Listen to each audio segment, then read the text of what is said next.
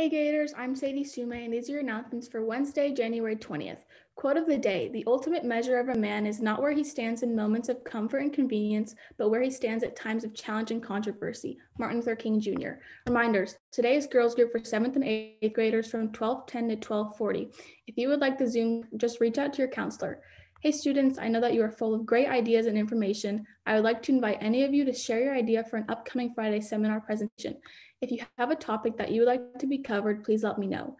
If you have an activity or topic you'd like to share with your fellow students in a presentation, let me know. The Friday seminars are supposed to be for you, so why not have them produced by you?